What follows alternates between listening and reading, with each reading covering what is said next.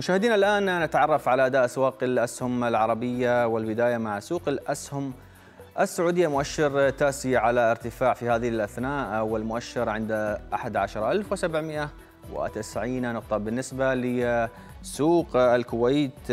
في خلال جلسة اليوم تراجع بنحو واحد ونصف في المئة والمؤشر عند 5775 نقطة. ماذا عن بورصة قطر في خلال جلسة اليوم؟ ارتفاع بأكثر من 10% والمؤشر عند 10093 نقطة. أما بالنسبة لبورصة البحرين أيضا على ارتفاع بنحو 20% والمؤشر عند 1935 نقطة. بالنسبة لبورصة مسقط أيضا على ارتفاع بأكثر من نصف في المئة ومؤشر عند 4686 نقطة. أما بالانتقال إلى مؤشر EGX 30 للبورصة المصرية نرى أنه أيضا مرتفع بنصف في المئة والمؤشر عند 29698 نقطة.